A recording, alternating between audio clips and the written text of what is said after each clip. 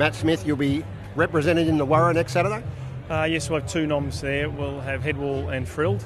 Um, look, Headwall was uh, he last race at Randwick on Cup Day. Was a good win from him, and um, he looks like he's definitely due to step up to stakes grade. And uh, Frilled raced in Melbourne down the straight last start, probably just didn't quite handle first time down the straight. But um, look, she's uh, definitely um, worth having a nom, and we'll have a look at the race and go from there.